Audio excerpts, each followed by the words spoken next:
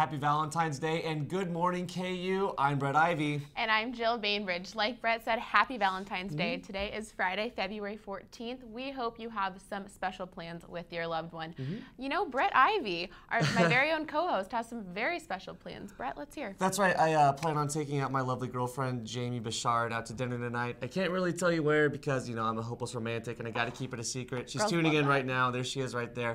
Um, and so, yeah, and so I'm very excited. I think it's going to be a pretty good time tonight, but we'll see. Good. Well, well, congrats on not being single well, on this Valentine's Day. thank you. Thank you. Yeah. I, on the other hand, um, single and pretty pretty happy about it. I'm gonna hang out with some of my girlfriends tonight. We're gonna go see a romantic comedy, ball our eyes out, and eat a lot of chocolate. So. That sounds like my like every single day. So that's perfect. Wow, that's really uh, interesting.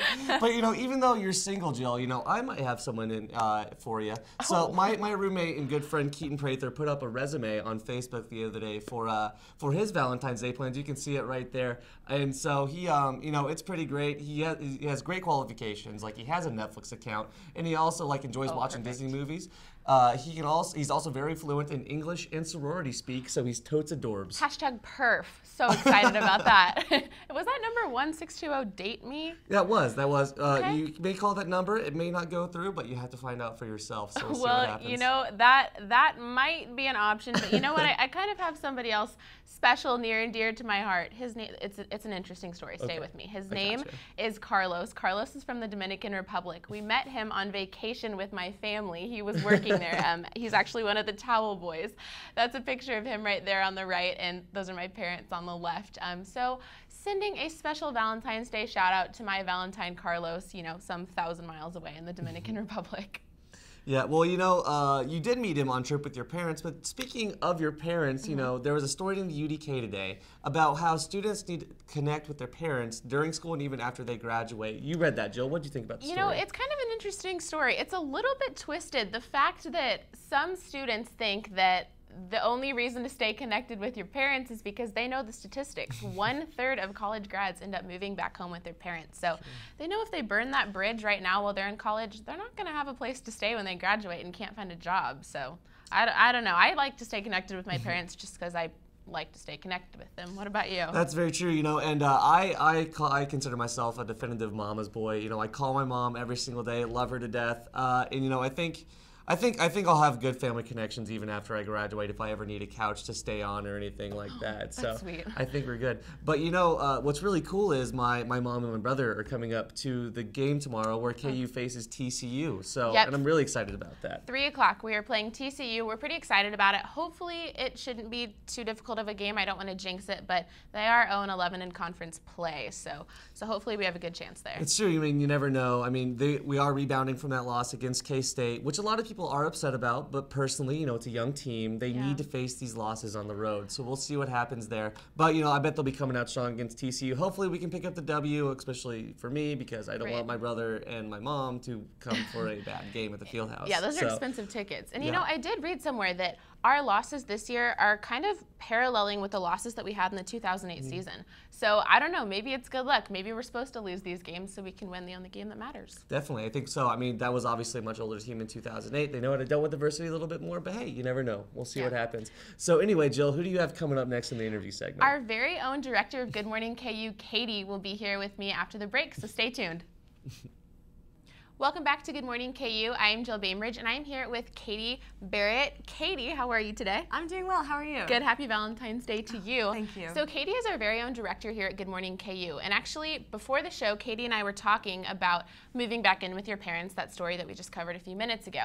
And Katie actually is doing pretty much the opposite of moving back in with her parents. Katie, what are you doing when you graduate? Um, well, on May 31st, which is a week after a week and a half after graduation, I'm going to be moving to Buenos Aires Aires, Argentina to teach English. So I'm going to buy a one-way ticket um, today, this afternoon actually, to teach English. So Congratulations on that. You. That is incredible. How do you find those kind of opportunities? Um, I always knew that I wanted to help people and travel. And I looked into the Peace Corps. It just didn't seem right for me. Uh, okay. It sounded very scary. And so I found a program called Language Corps just by Googling Teach English in Argentina. Okay. And it seemed very doable and affordable and not as scary as the Peace Corps. It okay. seemed more friendly, I guess. Okay, so what mm. are the specifics of, do you know like where you're living, who you're living with, what, what you'll be doing day to day? Um, it's kind of exciting. I'm going to be living with a host family. The way that Language Corps works is you get certified in country. Okay. So I'm going to fly down on the 31st and start training on June 2nd. So okay. I'm going to be staying with the host family for the month of June. Fun. And then I'm on my own to find an apartment in Buenos Aires. Oh but, gosh. but I've been spending a lot of time on Craigslist, Buenos Aires, looking at apartments, and they are all just stunning. They're all gorgeous, so I can't wait. Not know that was a thing. Craigslist Buenos Aires. Yeah. Who would have known? so, so how long are you planning on being there? Do you know? Are you just going to go and see wherever the wind takes you? They ask you to commit to a year, which I can totally do. I know some of my friends, one of my friends is teaching English in China through the same okay. program, and he decided to stay a second year. He loved it so much. So we'll see. Definitely sticking around for a year. Um, okay. Who knows after that? Yeah. So why why South America? Why Buenos Aires? What draws you to that? Because we were talking earlier, and I feel like everybody, not everybody, but a lot of people are very like Europe focused or Asia focused. But I hear very little of people going to South America. Yeah, I feel like there's a big romantic appeal with Europe and like Paris and everything, but my big pull with South America and Argentina specifically is I love Spanish. I've taken Spanish for six years in high school. I've traveled a lot in Central America, and I'm just really drawn to like the uh, warmth of the people there, and Argentina specifically because they have this gorgeous fusion of Spanish and Latin American and Italian culture and there's a lot of diverse neighborhoods. Um, I've just had this really intense love affair with Argentina okay. since fifth grade, maybe. I remember in fifth grade, I brought um, a poster of Argentina to like tell about me. It was like okay. one of the first days of school. Like, what do we need to know about you? I was like, I love Argentina. Like little fifth grade Katie with my big oh. eyeballs. Like, so I don't know. Okay. My teacher's probably like, what is this kid doing? But so I'm assuming you're fairly fluent in Spanish. I like to think I'm fluent. I definitely have lost some of my language skills. I haven't taken a class since freshman year of college, but um, I still dream in Spanish sometimes, which is a big indicator of fluency. Yeah. Oh yeah. I listen to a lot of reggaeton, um, Daddy, okay. Daddy Yankee and stuff. So. So yeah. I know I'm throwing this on you. Would you be willing to take us to break in Spanish? Tell everybody we'll be back with your news with Michael and Sam. Oh, or I'll try. Adios. Okay. Adios, mis amigos. Estás vistiendo a Good Morning KU. Y el próximo es Michael y Sam. If I had a superpower, what would it be? The ability to make things levitate, the ability to read other people's minds, to be able to hold my breath underwater for a long time. Um, I would talk to the animals. I could turn water into snow.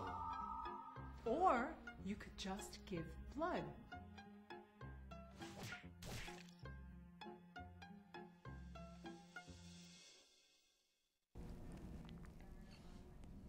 Hi, I'm Sam. And I'm Michael. This is your Good Morning KU News Update. The Mount Kelud volcano in Indonesia erupted yesterday, blasting ash and debris across and killing two people thus far. Over 100,000 people are being evacuated and six airports have closed. Russian President Vladimir Putin visited Team USA in Sochi today. According to the USA Today, he went to ease the tension that currently exists because of President Obama's choices regarding USA's representation at the Olympics. Obama made the decision to skip the Olympics himself and send three openly gay athletes in place of the vice president and the first lady. Copenhagen Zoo in Stockholm surprised people with their decision to kill a healthy giraffe in front of a crowd that held children. The giraffe was slaughtered and then fed to the lions. According to the Associated Press, this fate is quite normal. European zoos euthanize thousands of animals every year in order to preserve species. In the U.S., zoos are con use contraceptives to make sure the animals don't reproduce offspring. To celebrate Valentine's Day, a few McDonald's franchises are offering customers a high-class dining experience. The fast food chain is taking reservations and offering tables complete with roses, tablecloths, and candlelight. The participating McDonald's are located in Tampa, Florida, and North Carolina. In Olympic news, we are at the midpoint, and so far the U.S. is tied with the Netherlands for second place with a total of 12 medals. Norway is in first with 13. It's quite a close race for the top spot that the U.S. claimed in the 2010 Olympics with 37 total medals. The highlights of the Olympics so far include Jamie Anderson, who won gold for the U.S. in the first ever women's slopestyle event. The U.S. got three gold medals in snowboarding as well. The biggest disappointment of the Games has to be Shaun White's inability to medal. He won gold in the halfpipe in 2006 and 2010 Games. He has had an incredible Olympic career, but medaling in three straight Olympics would have been pretty impressive. And that's it for the Olympic update. And don't forget the basketball game tomorrow afternoon at 3 p.m. The Jayhawks will take on TCU and Allen Fieldhouse. That wraps it up for the news, but quickly, we have a couple shout outs to do. Happy Valentine's Day to Katie Rudolph. And happy Valentine's Day to Jeff Ray. Stay tuned, and after the break, we'll be back with Jill and Brett.